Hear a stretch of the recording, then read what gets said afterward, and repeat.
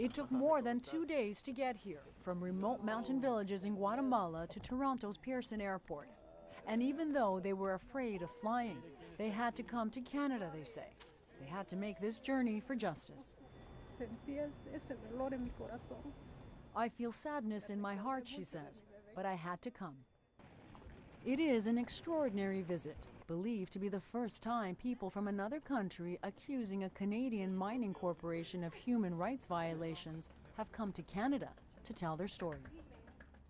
And it is a shocking one, documented in three civil negligence suits filed against Hudbay, a mining company based in Ontario.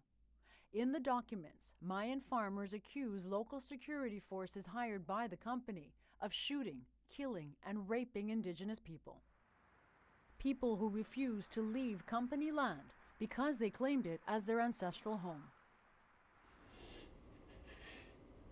Rosa Elvira Coc Ich is one of 11 women who says dozens of security workers stormed her village in January 2007 and destroyed her home but not before nine of them raped her.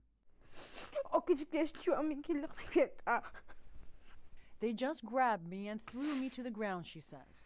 They raped me. They destroyed my body. Mamita, mamita, han matado a mi papá.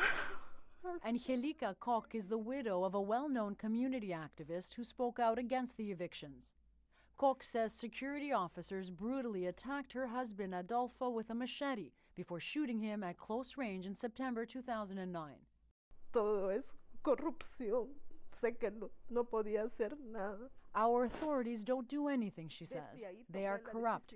That's why I made the decision to seek justice elsewhere. It's what compelled Germán Chub Choc to file his suit to argue it should be heard in Canada. Choc was shot that same day when he says security forces fired at a group of protesters. The attack left him paralyzed. The bullet is still lodged near his spine. Que miran cómo estoy, cómo me dejaron.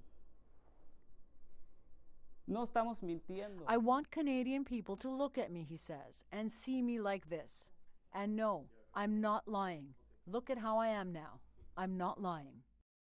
In a statement to CBC News, Hudbay expresses deep sadness about the injuries and loss of life that occurred that day, but that based on extensive internal investigations and eyewitness reports, Hudbay believes that the allegations in these matters are without merit and is vigorously defending itself against them. The company goes on to say that any trial should be held in Guatemala, given that the statements of claim are about events that are alleged to have taken place in Guatemala. I think our main argument is that the, the company had uh, direct control over what happened in Guatemala and that they were extremely careless uh, and reckless. Murray Klippenstein is representing the Guatemalans pro bono.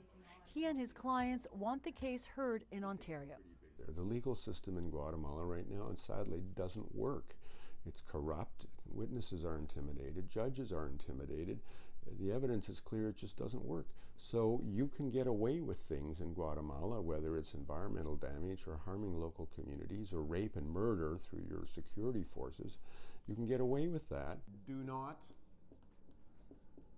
be afraid. It's why the Guatemalans are here, being readied for cross examination by the mining company's lawyers this week. Part of the legal process leading to a hearing in March, where a judge will decide where the case will be heard. It will be an uphill battle. Similar cases have never made it very far in Canadian courts, often because of issues of jurisdiction. Ian Binnie is a retired Supreme Court judge who has tracked the legal challenges of corporate accountability for years and says the corporate veil should be and can be pierced in Canadian courts. Eventually, the courts are going to have to face up to the fact that in a responsible legal system, uh, people have a right to a day in court. And, and if the only court available uh, is in Canada, then that's uh, where the problem should be faced. It is a test of justice and a test of faith, and it will likely take years to resolve. But with little left to lose, they say, they can only wait for that day.